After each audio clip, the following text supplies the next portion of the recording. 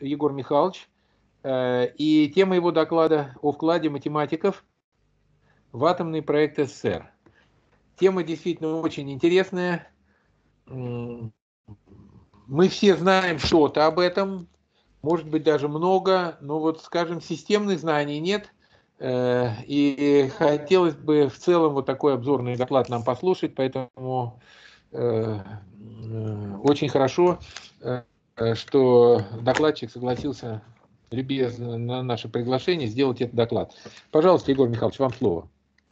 Спасибо, Александр Леонидович. Я бы хотел, пока загружается, поблагодарить за приглашение и, и Дарью Евгеньевну, и вас за возможность выступить.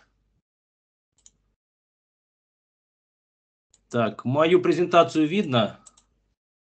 Да, видно, но пока то немножко она маленькая, может чуть-чуть покрупнее можно. Да, сделать. я сейчас попробую на полный экран ее раскрыть.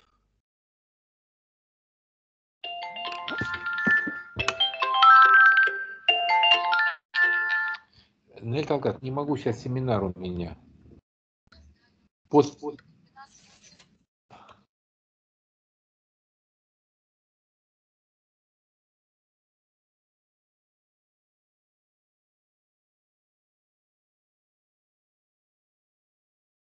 Ага, вот, мне кажется, все получилось. Ну да, сейчас видно.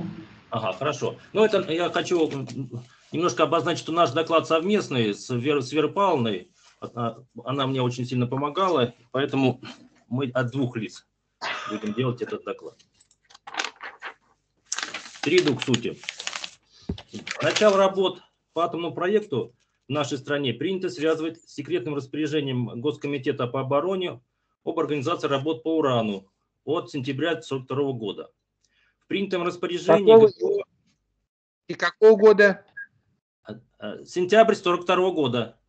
Ага, понятно. В принятом распоряжении ГКО обязывал Академию наук возобновить работы по использованию атомной энергии, полученным путем расщепления ядра урана.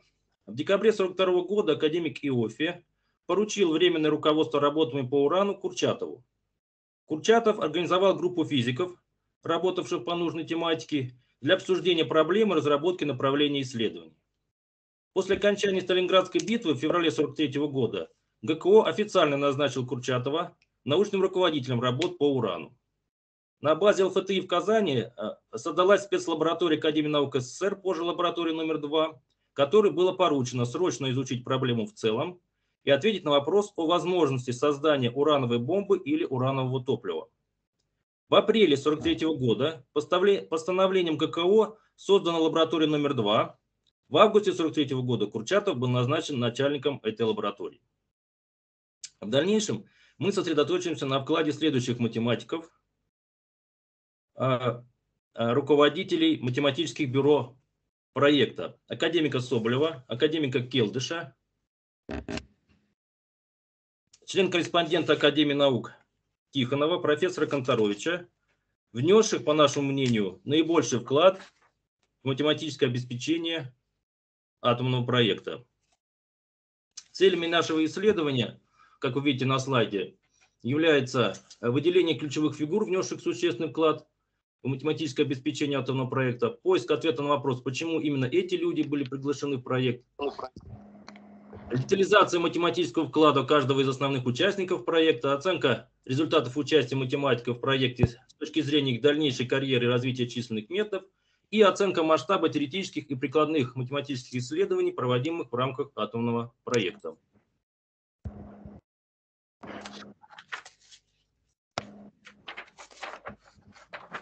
Так, это я уже сказал. Перейдем к кладу Соболева.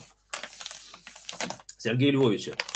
Сергей Львович Соболев известен математическому миру как создатель обобщенных производных и пространства его имени. Его участие в атомном проекте не получило широкой огласки. Начнем с биографии. В 29 году, после окончания ЛГУ, он был принят на работу в теоретический отдел Сейсмологического института Академии наук СССР. Уже в 30 году он пишет четыре важные статьи по теории упругости и распространения волн в неоднородных средах, одна из которых была представлена на Первом Всесоюзном математическом съезде. С 1932 года Соболев начинает работать в отделе дифференциальных уравнений МИАН. Математического института Академии наук. В 1933 году в возрасте 25 лет за выдающиеся заслуги в математике он был удостоен звания члена-корреспондента Академии наук, а в 1934 году его назначают заведующим отделом МИА. В это время Сергей Львович получает фундаментальные результаты в теории уравнений с частными производными и функциональном анализе, которые вошли в Золотой фонд мировой математики. В 1939 году за выдающееся математическое открытие Соболев был избран действительным членом Академии наук СССР, а в самом начале войны он стал директором МИАН. В сентябре 1941 года Соболеву пришлось заниматься эвакуацией математического института в Казань, организацией в трудных условиях работ по военной тематике и самому активно участвовать в исследованиях по увеличению точности артиллерийской стрельбы и бомбометаниях. Кроме того, в Казани Сергеем Львовичем было выполнено закрытое исследование по динамике вращающейся жидкости, связанное с методом центрифугирования для получения изотопов урана. Весной 1943 года ГКО принял решение о возвращении в Москву из эвакуации экономических институтов, а также МИАН и основной части лаборатории номер 2. В этом же 1943 году Соболев заканчивает второе математическое исследование по качественной теории вращающейся жидкости. В предвоенные годы Соболев был известен как редкий специалист, умело сочетавший исследования в сфере уравнений математической физики с ее приложениями физики и механики. Учитывая это, а также молодость и организаторские способности Сергея Львовича и в связи со сложностью новых научных и технических задач, было решено пригласить его в лабораторию номер два на должность первого заместителя Курчатова. В марте 1944 года Соболев оставляет должность директора МИАН и переходит на постоянную работу в лабораторию номер два, где его избирают председателем ученого совета. В августе 1945 года руководство лаборатории номер 2 отчиталось о том, что у них имеется достаточно данных для организации промышленного производства атомных взрывчатых веществ урана-235 и плутония-239. При этом Соболев являлся научным руководителем в группах как по урану, так и по плутонию, организовывая и направляя работу вычислителей. Для получения урана-235 в промышленных масштабах была создана теория, основанная на использовании каскадов центрифуг, автор, член-корреспондент Академии наук, физик Кикоин. Руководство расчетами промышленного комплекса указанных каскадов, а также экономической целесообразности схем параллельной работы цепочек диффузионных машин было поручено Соболеву. Отметим, что все расчеты огромного объема выполнялись на трофейных электромеханических машинках Mercedes и логарифмических линейках. В этот период за исключительные заслуги перед государством академик Соболев был отмечен двумя государственными премиями и званием Героя соцтруда. В 1946 году начались эксперименты по обогащению газообразного урана. Работа требовала решения колоссального числа разнообразных научных, технологических и организационных проблем, ставших на долгие годы главным делом. В октябре 1947 года академика Соболева вводит состав научно-технического совета первого главного управления при Совете министров СССР, состоявшего прежде из физиков и управленцев. В июне 1948 года Совет министров СССР обязывает организовать при лаборатории номер 2 закрытый семинар в составе академиков Ландау, Петровского, Соболева, членов-корреспондента Тамма, Харитона, Зельдовича, Тихонова, некоторых других, и возложить руководство семинара на академика Соболева. После успешного испытания первой советской атомной бомбы в августе 1949 года Семипалатинский полигон Большая группа наиболее отличившихся участников атомного проекта была награждена орденами. Соболев был награжден орденом Ленина. В середине 1949 года лаборатория номер 2 была переименована в ЛИПАМ, лабораторию измерительных приборов Академии наук. Усилия Кикоина и Соболева были сфокусированы на производственной деятельности диффузионного завода. После завершения участия в атомном проекте Сергей Львович продолжал работы по расчетам, связанным с мирным применением атомной энергии. В разговорах с коллегами Соболев признавался, что он приобрел вкус к вычислительной математике, почувствовал ее исключительные возможности именно в годы работы в Липане. Осмысление теоретических основ вычислений, проводимых в рамках атомного проекта, привели Соболева к исследованиям в области теории алгоритмов. Он разработал понятие замыкания вычислительного алгоритма, анализируя эффективность того или иного приближенного метода. В ряде случаев оказалось, что при увеличении числа итераций n можно говорить о предельном переходе в самом алгоритме решения. Например, в методе сеток для уравнения Лапласа предельным процессом при уменьшении шага h является уравнение теплопроводности. Получается, что асимптотическое изучение свойств данного алгоритма при больших n и малых величинах шага h может строиться на основе исследований этого предельного процесса. Существенное значение при этом имеет характер предельного перехода, так называемая регулярность и нерегулярность замыкания. Подоб, подобное исследование было подробно проведено Сергеем Львовичем в работе, которую вы видите на слайде, некоторые замечания о численном решении интегральных уравнений, ну, ссылку в смысле, где он рассматривал алгоритм решения интегральных уравнений Фридгольма. Атомный проект обогатил научный и личностный потенциал Соболева. С 52 по 58 годы он возглавлял первую в нашей стране кафедру вычислительной математики Мехмата МГУ. В 1955 году он выступил инициатором создания вычислительного центра МГУ, который за короткое время вошел в число самых мощных в стране. Применение ЭВМ для решения вычислительных задач стало одной из главных забот Соболева с момента появления первых отечественных машин. При решении задач вычислительной математики Соболев широко использовал аппарат функционального анализа, уравнения с частными производными и теории функций. Часто сами задачи вычислительной математики ставились в его работах как задачи функционального анализа. В 50-е годы руководимый Соболевым семинар кафедры вычислительной математики был одним из крупнейших центров объединявших ученых нашей страны, работавших в области теории численных методов, программирования, кибернетики, разработки вычислительной техники. Обобщая свой опыт участия в атомном проекте, Соболев выступил на третьем всесоюзном математическом съезде с пленарным докладом на слайде «Некоторые современные вопросы вычислительной математики». На этом докладе он определил главные направления, послужившие основой развития вычислительной математики на длительный период. На секции функционального анализа того же съезда Соболев, Люстерник и Конторолич представили совместный доклад «Функциональный анализ и вычислительная математика», в котором объединили имеющиеся у них результаты и указали на взаимосвязи двух разделов математики, новые задачи и идеи, возникающие в этих разделах, в том числе под влиянием решения задач в рамках атомного проекта.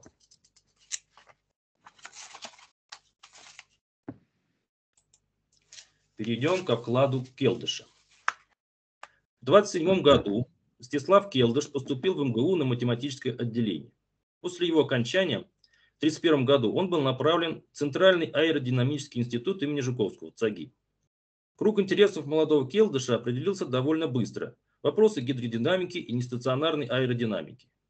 С 1934 года Мстислав Всеволодович совмещает работы в ЦАГИ и МИАН. В сентябре 1934 года он поступил в аспирантуру МИАН и в 1935 году без защиты диссертации ему присудили ученую степень кандидата физмат-наук. В эти же годы в самолетостроении возникли серьезные проблемы, которые стали препятствием на пути развития скоростной авиации. При возрастании скорости самолет начинало сильно трясти, и он рассыпался в воздухе. Это явление назвали, назвали флаттером. При взлете посадке самолета возникала другая проблема. Переднее колесо трехколесного шасси могло внезапно сильно завибрировать и привести к катастрофе. Это явление самовозбуждения колебаний назвали Шимми. В 1936 году за большой цикл работ, посвященный колебаниям авиационных конструкций, Келдыш получил звание, получил степень кандидата технических наук и звание профессора по специальности аэродинамика. В январе 1938 года он защитил докторскую диссертацию по математике. С 1939 года имя ученого и его работы засекречены, поскольку в предвоенные и военные годы проблема вибрации в самолетостроении – государственная проблема особой важности. В 1941 году Келдыша назначает начальником отдела динамической прочности. Он руководил разработкой проблемы прочности самолетов, в которую входили вопросы флаттера, вибрации винтомоторных групп, усталость авиационных конструкций, прочности, ишеми шасси и ряд других. С явлением флаттера столкнулось авиастроение всех передовых стран, но раньше других и в наиболее полном наборе всех его разновидностей флаттер был преодолен на стране, благодаря работам Келдыша и его коллег. В апреле 1942 года ему совместно с Гроссманом была присуждена сталинская премия за научные работы по предупреждению разрушений самолетов. Келдышем были заложены основы методов численного расчета и моделирования в аэродинамических трубах явления флаттера. В июне 1943 года за выдающиеся заслуги в области научно-исследовательских работ в авиации Келдыш был награжден орденом Трудового Красного Знамени. В 1943 году его избирают членом-корреспондентом Академии наук по отделению физико-математических наук, а в ноябре 1946 академиком. С 1942 по 1953 год Келдыш профессор МГУ. На физико-техническом факультете МГУ он заведовал кафедрой термодинамики и вел курс математической физики. А на Мехмате читал лекции и руководил научно-исследовательским семинаром по теории функций комплексного переменного. В апреле 1944 года в МИАН создали отдел прикладной механики, которым с июня 1944 по июнь 1953 заведовал по совместительству Келдыш. В 1946 году он получил сталинскую премию за научные исследования в области теории и методов расчета автоколебаний самолетных конструкций. Вернемся к атомному проекту.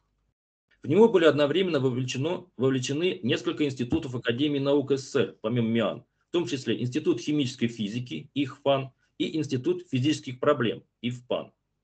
Эти институты испытывали острую нехватку математиков-прикладников. Почти весь 46 год директор Ихфан Семенов добивался перевода Келдыша в свой институт, давая ему такую характеристику. По отзывам всех руководящих математиков нашей страны, профессор Келдыш является самым талантливым математиком молодого поколения.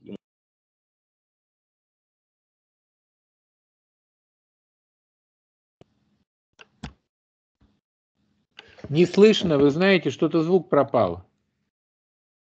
Посмотрите, у вас микрофон, по-моему, отключен.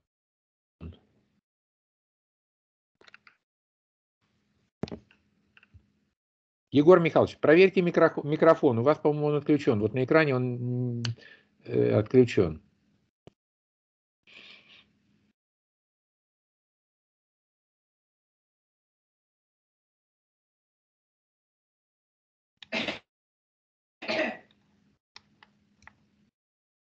Коллеги, кто-то слышит что-то э, из доклада или я один только не слышу? Нет, действительно, микрофон включен. Слышно. Не слышно, выключен. Не, не слышно. Егор Михайлович, включите микрофон, пожалуйста. Посмотрите на значок микрофона, он перечеркнут у вас.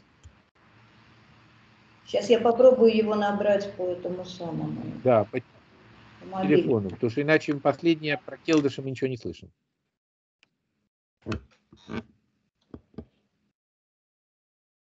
Все, я включил микрофон. Да. Вот, наконец-то включил. Так теперь мне нужно вернуться в презентацию. Презентация сейчас видна. Как вы сказали, что его хотели перевести в другой институт, по физический, и мы не слышали.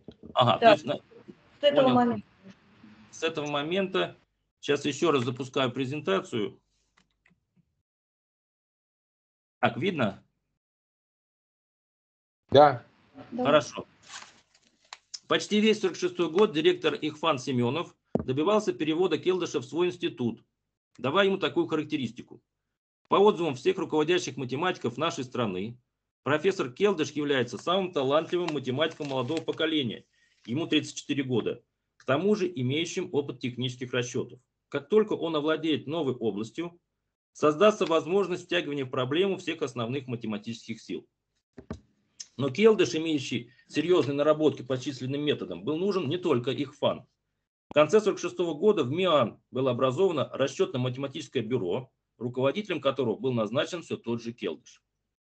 В конце 1946 года с целью обеспечить быстрейшее развитие эксперимента и теории в области реакции на быстрых нейтронах, применительно к процессам ядерного взрыва, при ИХФАН был организован постоянно действующий семинар для обсуждения работы в указанном направлении в составе 37 человек, среди которых было три математика – Соболев, Келдыш и Семендяев.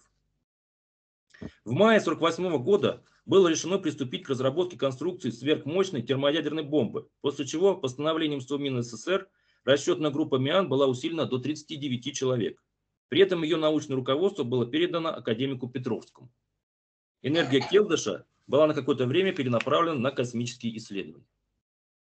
Вскоре после создания в Сарове научно-производственной единицы КБ-11 для ускоренной разработки атомных бомб, это весна 1947 года, и строительства завода по производству этих бомб 49-50 года, появилась необходимость в усилении имеющейся там группы вычислителей, работавших под руководством члена-корреспондента Академии наук Боголюбова. Представленный план работы КБ-11 на 1951 год предусматривал привлечение к работе дополнительных математиков и гидродинамиков Келдыша и Дородницына и значительное усиление расчетно-математической базы в МИАН и ИФПА. На основе, на основе этого плана постановлением Совета министров СССР 9 мая 1951 года Келдыш был утвержден председателем математической секции номер 7 научно-технического совета и главным научным руководителем работ по созданию конструкций быстродействующих вычислительных машин БВМ и разработки методов работы на них. Кроме того, Келдушу было поручено руководство организации вычислительного центра ПГУ, Первого главного управления. В указанном постановлении также предписывалось обязать ПГУ организовать расчетно-теоретические работы по термоядерной бомбе, бомбе РДС-6Т в МИАН под руководством академика Келдыша, параллельно работам, ведущимся в ИФПАН. Утвердить академика Келдыша заведующим отделом прикладной математики МИАН и обязать МИАН в лице Виноградова и Келдыша создать в институте группу газодинамиков и математиков под руководством доктора технических наук Дородницына. Келдышу и Дородницыну было выдано задание расчет основной газодинамической задачи о детонации цилиндрического заряда при заданном законе выделения энергии как функции давления и температуры без учета переноса энергии излучением и быстрыми частицами. Содержащее А. Проведение качественного анализа, установившийся режим распространения взрыва по цилиндрическому заряду, и Б. Построение численных методов решения газодинамической задачи. Постановление Совмина СССР от декабря 1951 года обязало ПГУ сосредоточить в 1952 году основные силы физиков, математиков и конструкторов на ускорении разработки бомбы РДС-6С, также относящейся к термоядерному типу. В связи с чем следовало, во-первых, привлечь к участию в выполнении работ по этой бомбе товарища Ландау, Зельдовича, Келдыша, Блохинцева и Колмогорова и поручить им ознакомиться с теоретическими расчетными работами по РДС-6С, представив ПГУ свое заключение по ним. Второе. Рассмотреть в научно-техническом совете представленное заключение и до 15 февраля 1952 года разработать и утвердить мероприятие по форсированию работ по созданию РДС-6С. 30 января 1953 года руководством КБ-11 проведение точных расчетов по инициированию трубы, сейчас скажу, что это такое, было поручено МИАН под руководством Келдыша, группа Дородницына. Задача об инициировании трубы заключалась в точном расчете процесса превращения сферической волны в стационарную волну, распространяющуюся в цилиндрической трубе. Только после решения этой задачи можно было с уверенностью сказать, что стационарный режим не только принципиально может существовать, но и практически может быть получен. Расчет инициирования трубы был необходим также для уточнения потребного количества трития. По своему объему данный расчет мог быть выполнен только на электронно-счетных машинах. При этом формулировка исходных уравнений и начальных условий требовала совместной работы МИАН и группы КБ-11. В составленном плане работ по другой термоядерной бомбе РДС-6Т Келдыш не только руководитель, проведение точного расчета возникновения детонации в цилиндрическом заряде от итриевого инициатора с учетом передачи энергии частицами и квантами и переменной концентрации реагирующих веществ, он выступает и как исполнитель. А. Формулировки уравнений и выборе начальных условий первого варианта работы совместно с КБ-11 и Б. В программировании расчетов для ЭВМ и проведении этих расчетов совместно с Дородницей. Объем и широта обязанностей интересов Келдыша вызывают восхищение и удивление. Насколько в дальнейшем усложнилась его работа по атомному проекту, можно представить. Первое. Из протокола технического совещания от июля 1954 года провести расчетные работы по вариантам термоядерных бомб СД-3 и СД-4. После их завершения произвести окончательный выбор варианта конструкции термоядерной бомбы РДС-6СД и определить срок окончания опытной отработки. И второе. Из записки сотрудника Главного управления приборостроения СССР Павлова Келдышу от сентября 1954 года. Прошу вас обеспечить выполнение расчетно-теоретических работ по новым типам термоядерных бомб СД-1 и СД-4. Работы, проводимые под руководством Келдыша, во многом предопределили современное развитие вычислительной математики в СССР, в первую очередь численных методов решения многомерных задач гидродинамики и математической физики. Необходимость их решения вызвала в области вычислительной математики революцию, коренным образом изменившую ее общенаучное значение. Были намечены принципиально новые возможности приложения математики к разработкам оптимальных технических конструкций. По признанию физиков, математические расчеты не только позволили понимать эксперимент, но и зачастую скрывали явления, которые невозможно усмотреть экспериментально, таким образом резко повышая темпы технического прогресса.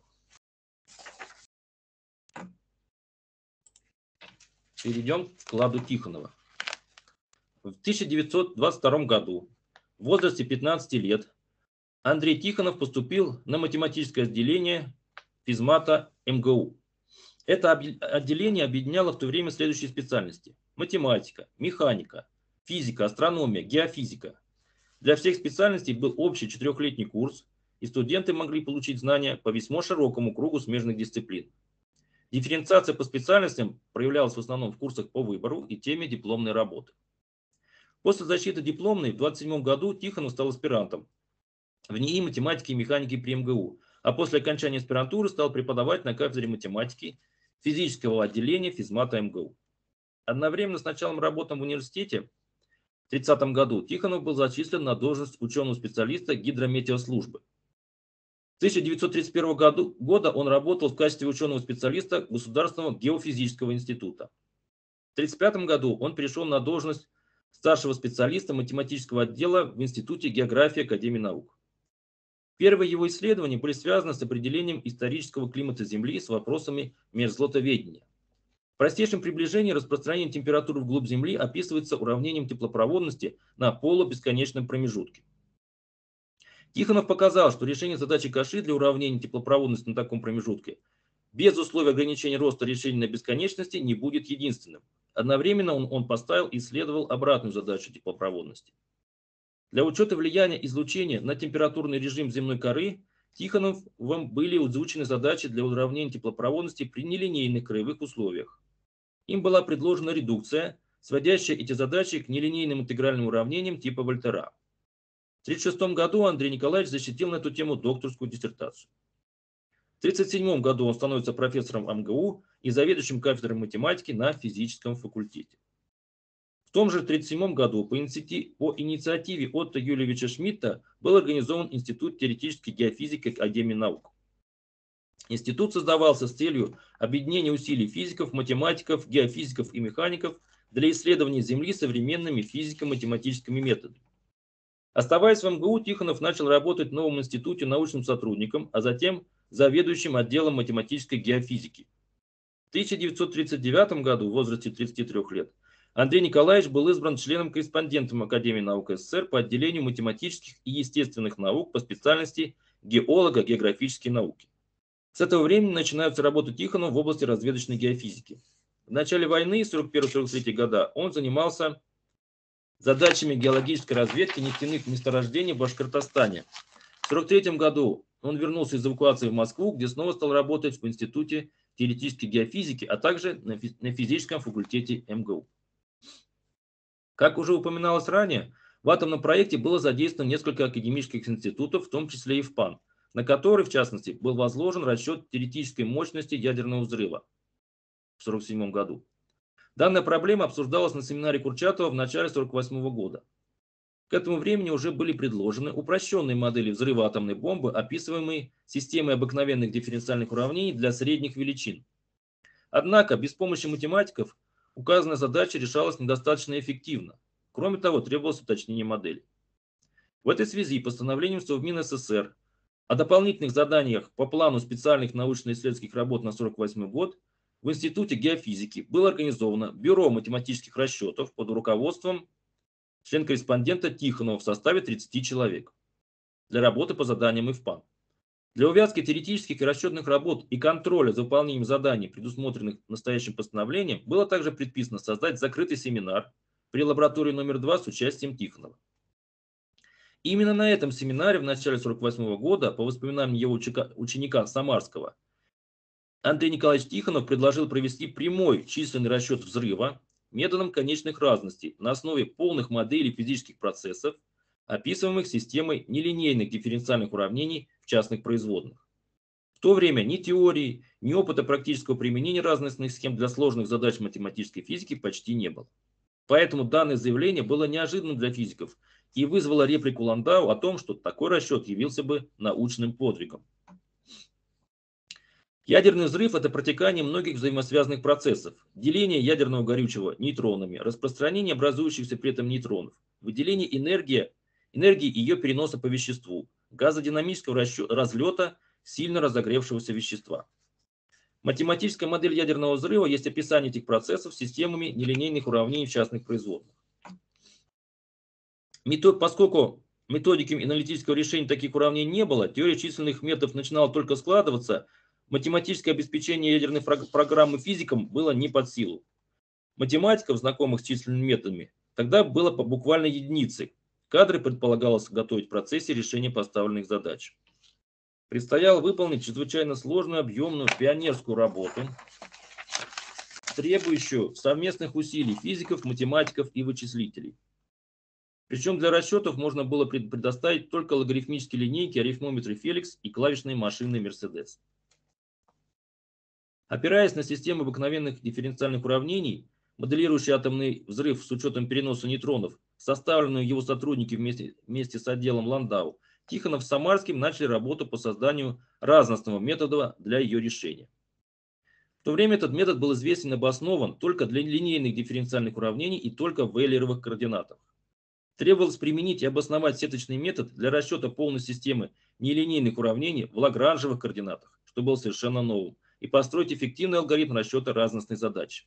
Кроме того, следовало ориентироваться на реализацию алгоритма имеющимися вычислительными средствами. Работа была начата в конце лета 1948 года, и меньше чем за год группа Тихонова сумела построить методы, наладить расчеты и получить первые производственные результаты. В 1949 году был осуществлен первый расчет полной системы уравнений взрыва плутониевого шара. Во время создания атомной бомбы по требованию ПГУ Физики давали математическому бюро расчетные задания, не объясняя их смысла и цели. Ни вычислители, ни научные сотрудники математических бюро не должны были знать, в решении каких задач они участвуют, что конкретно рассчитывают, с кем в параллели работают. На следующем этапе бюро Тихонова от Ландау поступило более сложное задание – решить систему уравнений, описывающую взрыв шара с оболочкой из урана. Эта система была гораздо сложнее – на переведение ее к виду, пригодному для решения, и на разработку алгоритма потребовался месяц. Интерполяционную формулу энерговыделения в зависимости от параметров для оценок готовящегося тогда атомного взрыва составляли в группе Ландау, основываясь на расчетах бюро Тихонова. За эти работы Андрей Николаевич был награжден орденом Трудового Красного Знамени, а его сотрудники получили большие премии.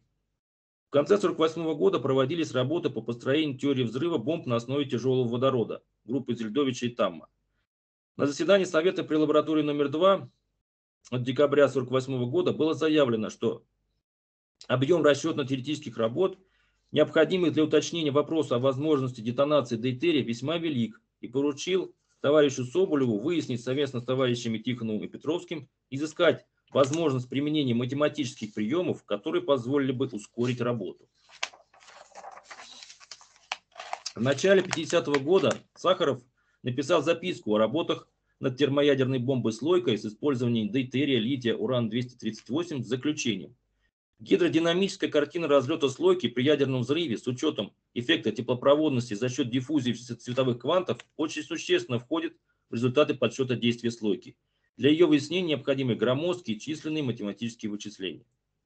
На основе этой записки 10 февраля 1950 года Курчатов и Хритон написали письмо Берия об архитектуре и происходящих реакциях в обеих упомянутых разработках. В ответ на это письмо в феврале 50 года вышло большое постановление Совета министров СССР о работах по созданию РДС-6, где на Институт теоретической геофизики Академии наук товарища Тихонова было возложено проведение расчетных работ 50 51 и 50-1951 года по созданию термоядерной бомбы по заданиям КБ-11. Ну, РДС-6 это как раз вариант термоядерной бомбы.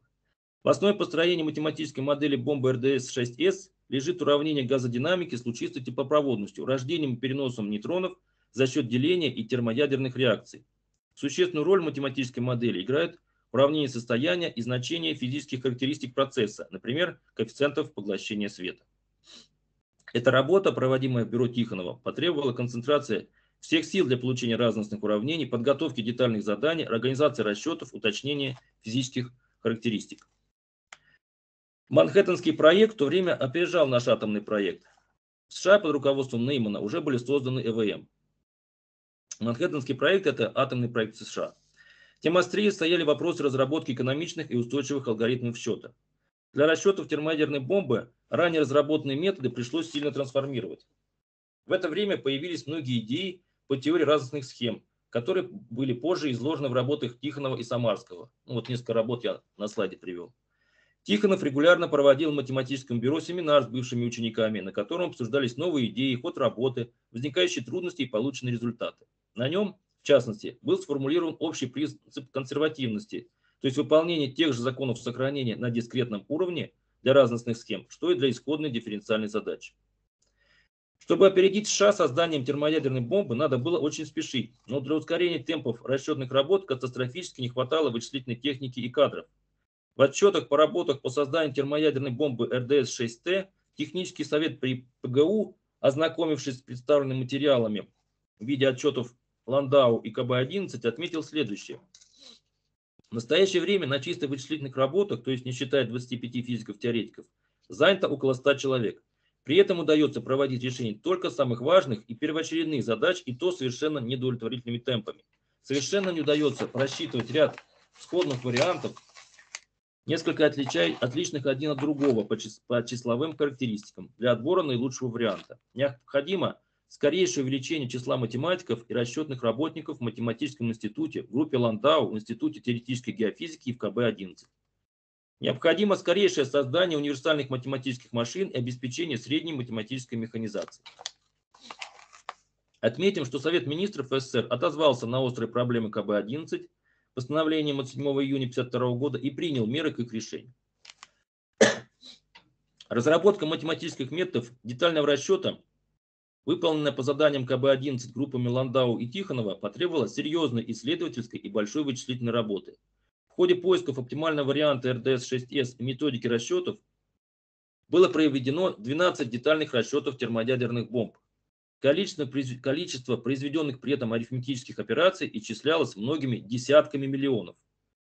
Важно, что удалось выработать метод расчета, в котором неизбежные в столь громоздких вычислениях малые ошибки не накапливаются и не приводят к существенной погрешности в конечном результате.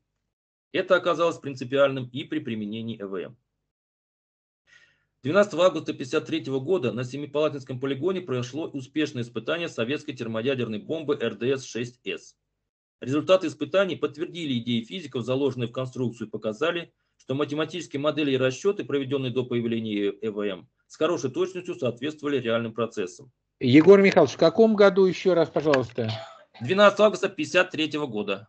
В 1953 году термоядерная да. бомба была, да, понятно. Да, да. Да. Американским специалистам удалось создать такую же бомбу только к марту 1954 года. В конце 53-го, начале 54-го годов за участие в создании термоядерной бомбы и новых конструкций атомных бомб Тихонову присудили сталинскую премию первой степени и звание Героя соцтруда. В марте 1954 года Технический совет КБ-11 решил принять все меры по форсированию работ новой термоядерной бомбы РДС-6СД, газовый вариант.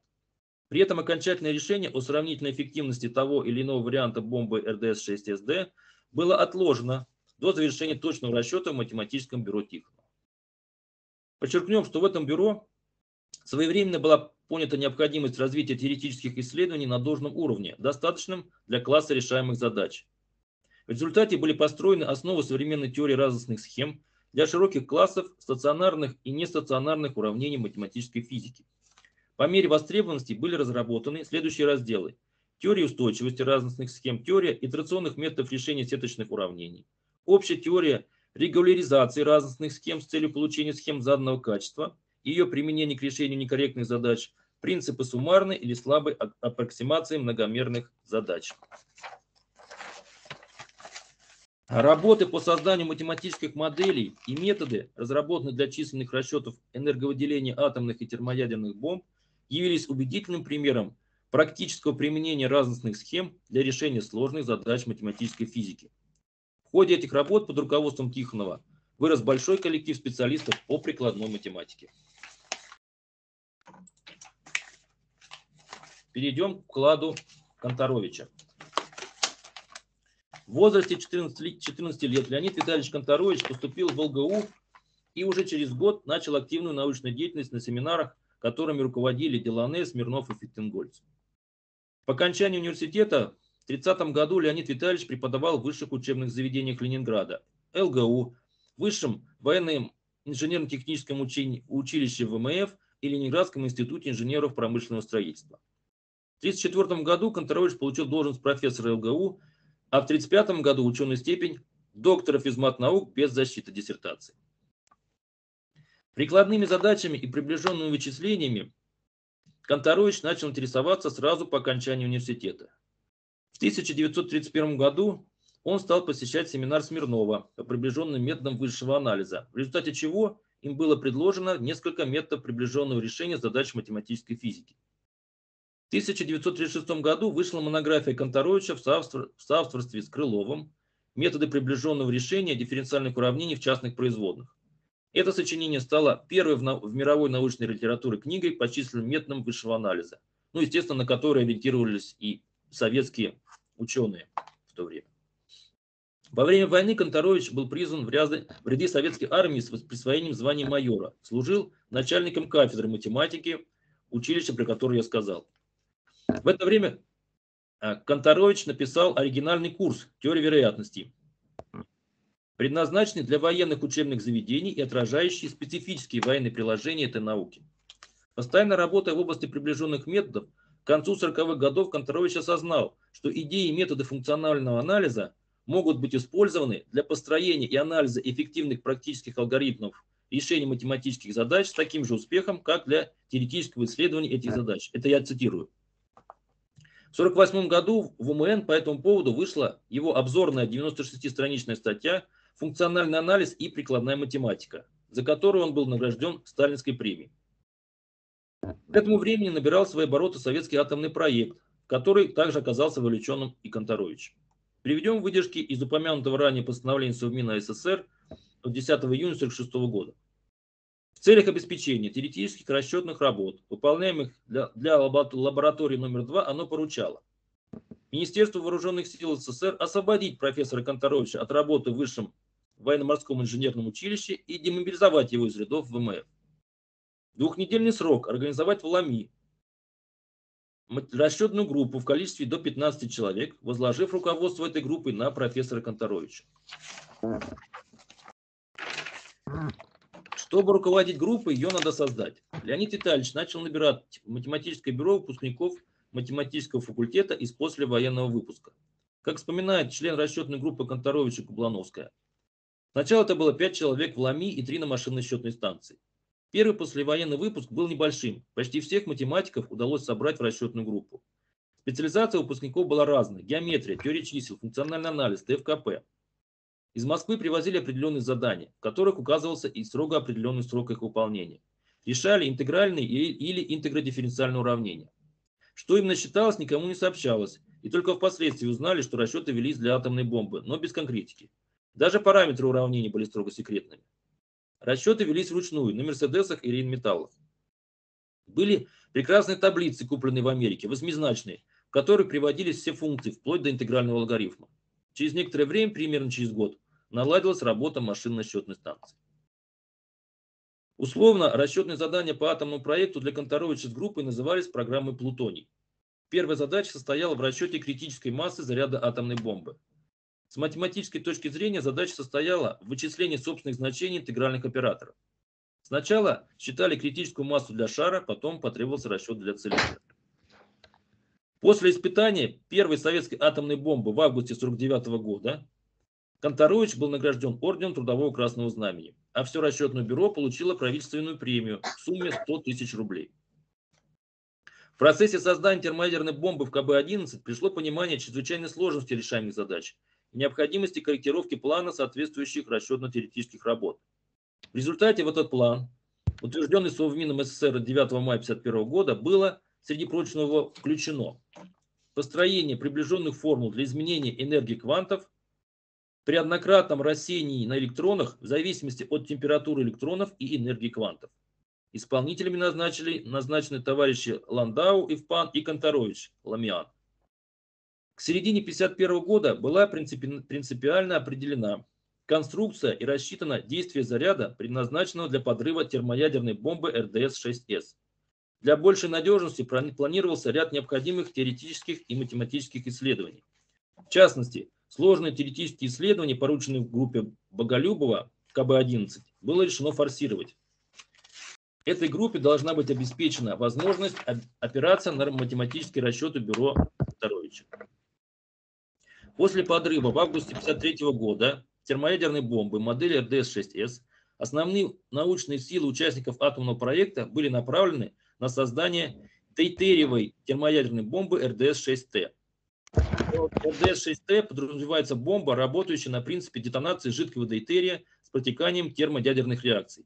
Отличительной особенностью РДС-6Т являлось протекание реакции при весьма высокой температуре до 100 миллионов градусов, при которой вещество не находится в равновесии с излучением.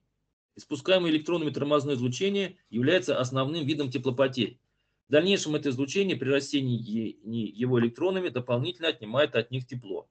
Последний из перечисленных процессов получил название комптонизации. Расчет комптон эффекта при заданном распределении температуры электронов было поручено выполнить к концу 1952 года ученым Померанчуку лаборатории номер 3 и Конторовичу Лами. В плане расчетно-теоретических работ по модели РДС-6Т на вторую половину 1953 года Кронроду и Конторовичу одновременно поручают разработку приближенного метода учета анизотропии в расчете Комптон эффекта. А. При заданном гидродинамическом поле с полным учетом анизотропии. И Б. Для одного-двух гидродинамических полей с приближенным учетом анизотропии. С этим заданием Конторович и Кронрод успешно справились. Работая в атомном проекте, Конторович пришел к убеждению необходимости поставить вычислительные процессы на прочный теоретический фундамент. Развивая результаты своей обзорной статьи 1948 года «Функциональный анализ и вычислительная математика», он готовит новую работу, приближенное решение функциональных уравнений на слайде есть. В ней Конторович сформулировал ряд задач, с которыми приходится встречаться специалистам по прикладной математике и определил способы их решения в рамках функционального анализа. Статьи, опубликованные Конторовичем в период работы в атомном проекте, блестяще подтвердили выдвигавшиеся им два тезиса. Первый тезис. Разумно проведенное обобщение позволяет яснее видеть существо дела и получить более точный результат, чем при индивидуальном изучении частной задачи. Но ну, это вообще общий принцип функционального анализа. Наличие хорошего приближения помогает не только локализовать предполагаемое решение, но и установить сам факт его существования. Леонид Витальевич внес значительный вклад в развитие вычислительной техники и программирования. Предложенные им алгоритмические и структурные решения легли в основу ряда оригинальных вычислительных устройств. В середине 50-х годов под руководством Конторовича были разработаны релейные клавишные вычислительные машины Вильнюс и Вятка, которые сыграли важную роль в автоматизации вычислительных работ. В те же годы Конторович обратился к вопросам автоматизации программирования, а также других сфер интеллектуальной деятельности человека.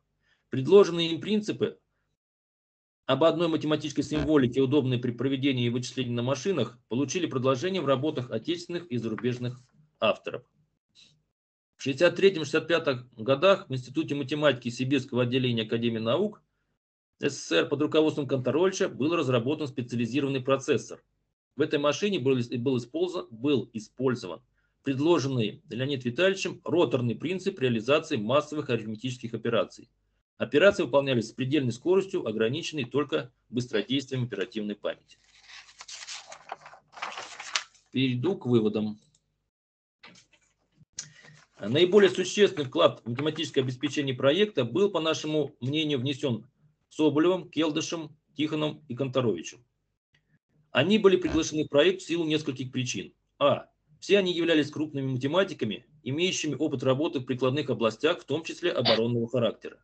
Б. Они хорошо зарекомендовали себя на руководящих должностях. В. Они обладали подходящими личностными свойствами, работоспособностью, ответственностью, целеустремленностью и тому подобное. Второе. Каждый из перечисленных участников, за исключением Келдыша, перегруженного организационной работой, проводили глубокие исследования по темам, связанным с участием в проекте. У Соболева это были изыскания в области теории алгоритмов и кубатурных формул. Тихонов разрабатывал теорию разных схем. Конторович проводил анализ приближенных методов в рамках функционального анализа, а также проектировал вычислительные машины и процессоры. Их результаты впоследствии получили мировое признание. Третье. Участие в атомном проекте, безусловно, повысило авторитет ученых-математиков в научном сообществе и их социальный статус. В этом определенную роль сыграло их награждение орденами и медалями, а также, а также большие зарплаты и премии, к примеру, премия Конторовича была 50 тысяч рублей при средней месячной зарплате СССР в те годы 500 рублей. Кроме того, математики руководители расчетных бюро позиционировались по окончании проекта как проверенные кадры в самых высоких кругах, что позволило им занимать ключевые позиции в других местах. Например, Келдыш был руководителем космической программы, потом президент Академии наук СССР. Соболев стал директором Института математики Сибирского отделения Академии наук. Тихонов – декан факультета ВМК МГУ, позднее, позднее директор Института прикладной механики Академии наук. Конторович – создатель математико-экономического отделения Сибирского отделения Академии наук, Нобелевский лауреат. Четвертое.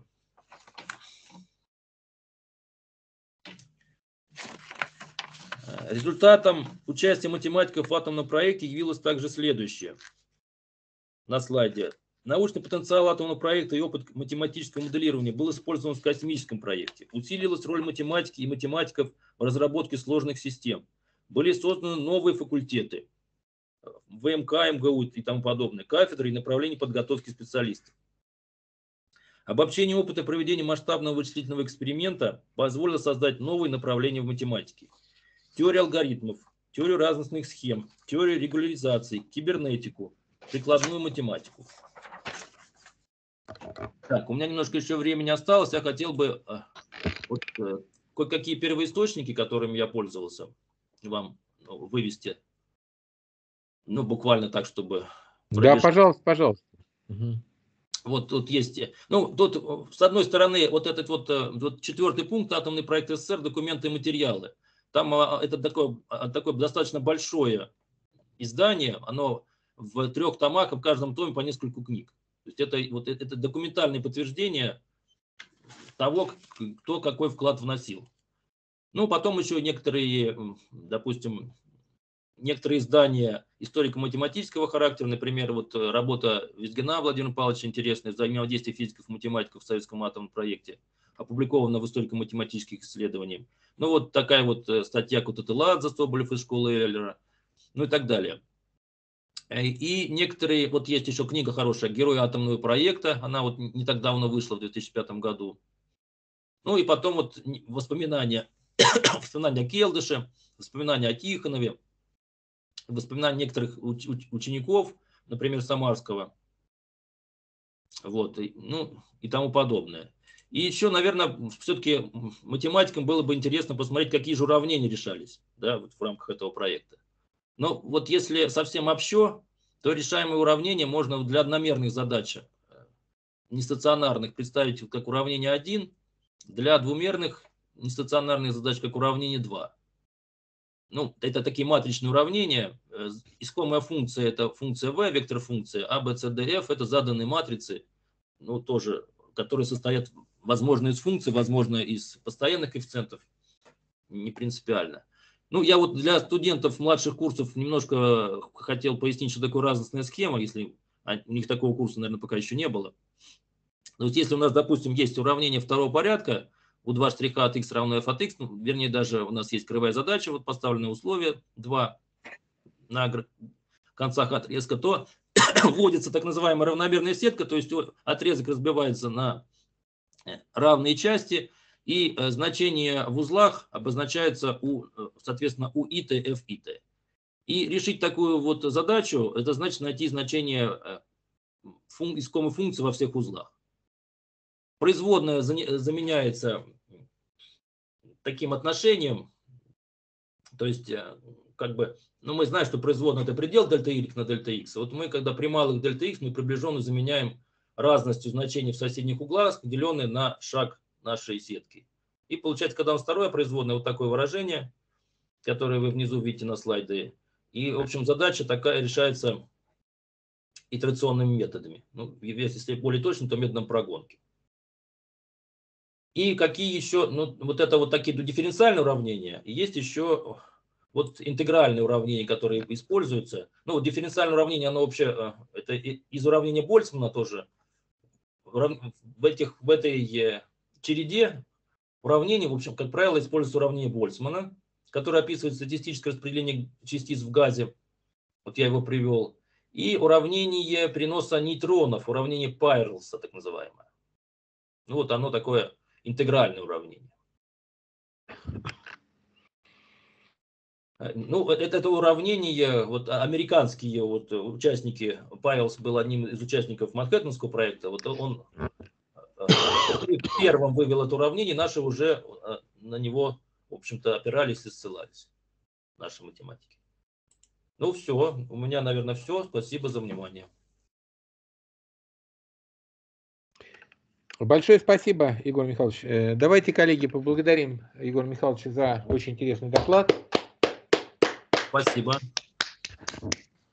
Спасибо. Так, коллеги, Очень интересно. пожалуйста, какие вопросы? Илюти, можно такой вопрос? Э, вот покажите, пожалуйста, список литературы. Мне кажется, у вас там опечатка. Ну, Первая часть или вторая? первый, первый. Ага. Вот э, я всегда считал, что Галеркин Борис Григорьевич. Да, да, да, да, да. Спасибо, да, Борис, да. Спасибо. Вот, э, Можно я меня- вопрос задам? Пожалуйста. Да, пожалуйста. Спасибо большое. А вот смотрите, когда вы рассказывали про Соболева, да, у Мгм. вас очень много было биографических справок.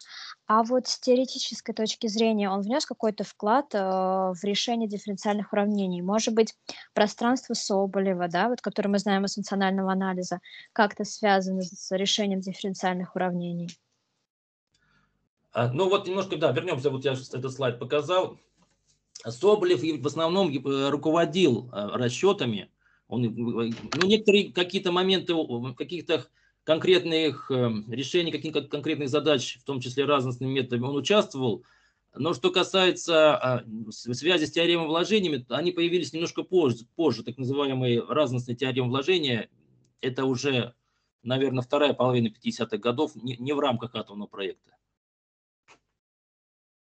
Э, Можно Всё, мне Поняла, спасибо большое. э, мне немножко, э, э, да, частично ответить на этот вопрос.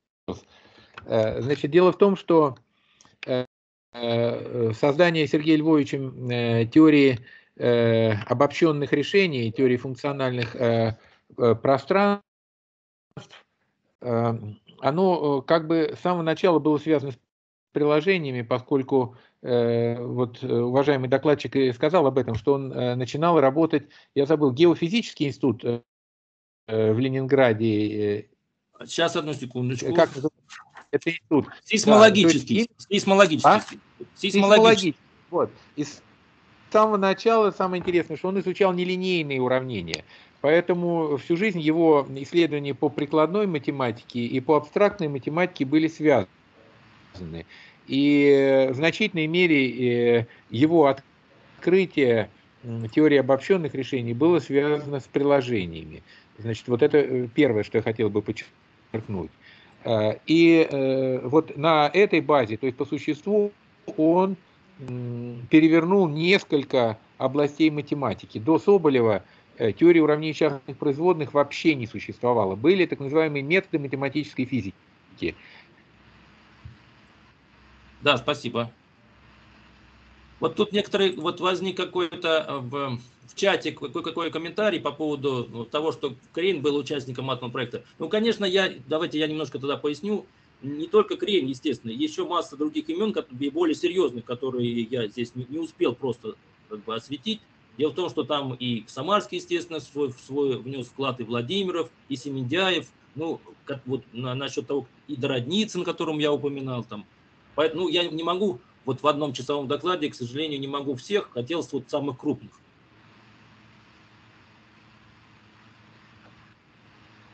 Еще можно поинтересоваться, да, вопрос задать? Пожалуйста. Да, спасибо, во-первых, большое за очень информативный, интересный доклад.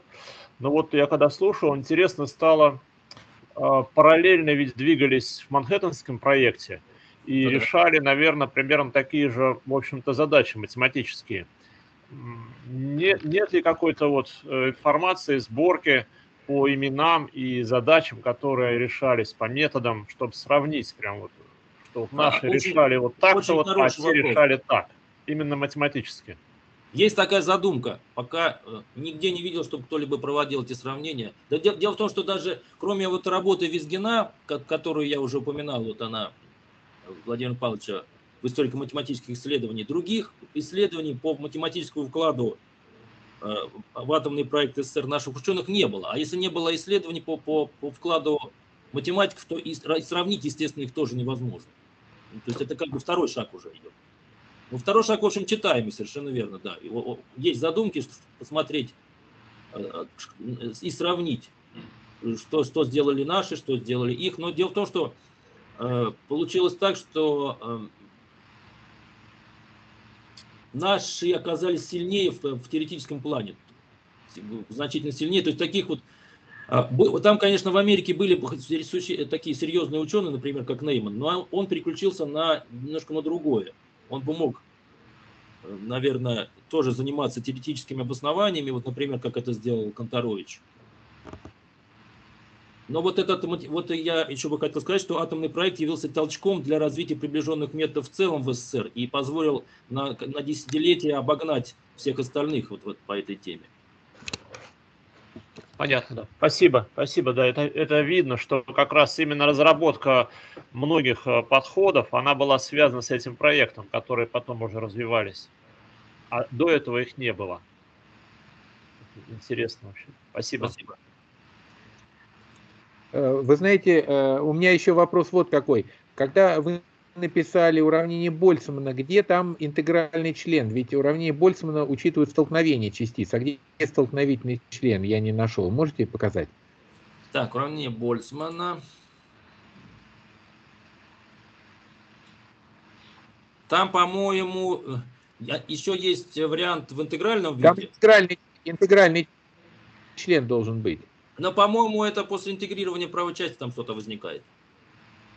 Ну хорошо, ну вообще все-таки лучше на будущее писать э, как-то это вот э, более аккуратно, потому что хорошо, Э, да, э, значит, ну, я, во-первых, хотел два слова сказать. Вот студентка, одна из моих студенток задала вопрос по э, поводу роли Соболева и связи его деятельности с уравнениями. Я обещаю на эту тему, чтобы всех присутствующих не, не, не задерживать и не сматывать как-то очень вот интересные ощущения от доклада. Я обещаю на следующей лекции им рассказать про Сергея Львовича и про его роль э, не только в атомном проекте, но и в создании наших современных э, межконтинентальных ракет.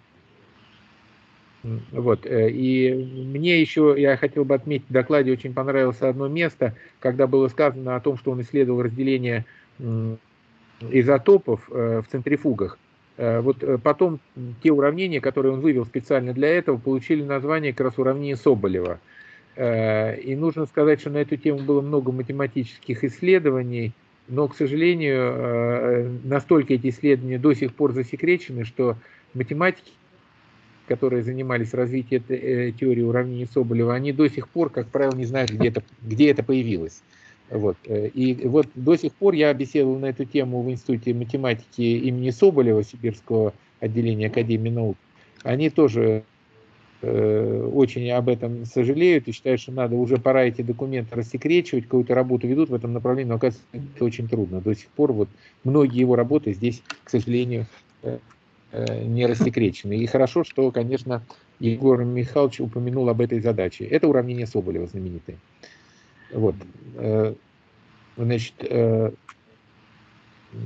там различного, различный э, порядок производных старших по разным переменным входит, и вот оно как бы под стандартную классификацию не подходит. Исследований было много, но, к сожалению, физический смысл исследователи в своих работах не указывают. Так, коллеги, еще вопросы, пожалуйста, докладчику. А вопрос такой легкий. Просто вот я знаю, что академик Белцерковский, был задействован, в принципе, в этих, в этих делах. В принципе, он там и книгу у него есть по взрыву атмосферы ядерной. Как бы вот э, что-то можно сказать? Вот автор, э, наш докладчик может что-то на эту тему сказать? Ну, я скажу, что я бы отнес э, как, как э, участникам второго эшелона, скажем так. Я обозначил вклад участников uh-huh. первого эшелона, а вот Белцерковский, Дородницын, Владимиров, Самарский, все это второй эшелон, ну и это требует отдельного, естественно, исследования. Нет, просто вы других называли, да, Белцерковского нет, Белцерковского. Я просто, ну, как бы, что вы знаете, вот, вот в стране, я как бы мало знаю, вот, что его... Ничего конкретного сказать не могу, к сожалению, сейчас. Ну, спасибо. Не, не, не занимался. Ну, вот э, я э, как раз склонен согласиться с докладчиком, и э, это очень хорошо, что он выделил э, ключевых участников э, атомного проекта.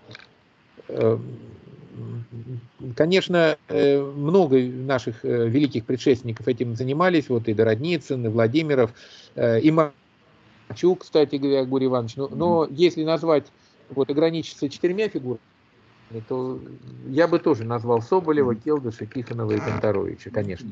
И эти фамилии, когда даже отмечают юбилеи других тематиков участников атомного проекта, так или иначе все равно Э, упоминаются, и действительно э, это э, были удивительные люди. Вот я помню, на траурной церемонии на похоронах Келдыша была сказана такая фраза его преемником Александровым. Три К, Келдыш, Королев и Курчатов обеспечили создание ракетно-ядерного щита нашей страны. Ну, там, правда, был один Келдыш упомянут, но, конечно, э, так сказать, на самом деле э, все эти люди занимались э, многими вопросами, прежде всего созданием э, э, ядерного и термоядерного оружия. Спасибо. Коллеги, еще вопросы, пожалуйста.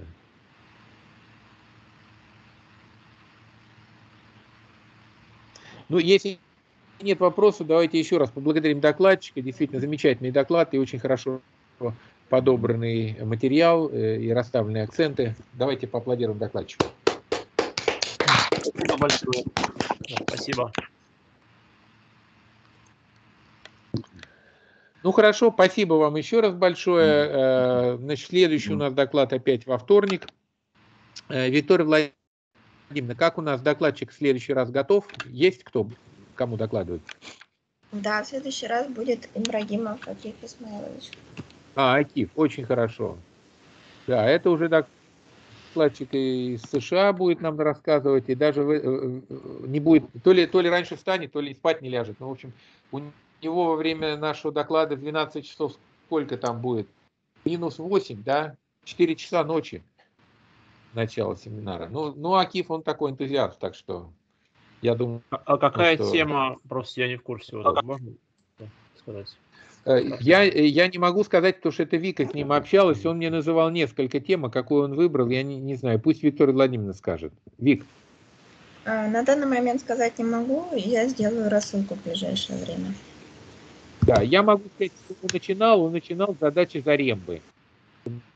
Вот. Э, это были 80-е годы прошлого века. Он защищал докторскую диссертацию в математическом институте имени Стеклова. Э, вот, так что действительно очень высокого уровня специалист.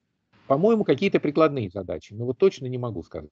В последнее время он много занимается различными интересными приложениями.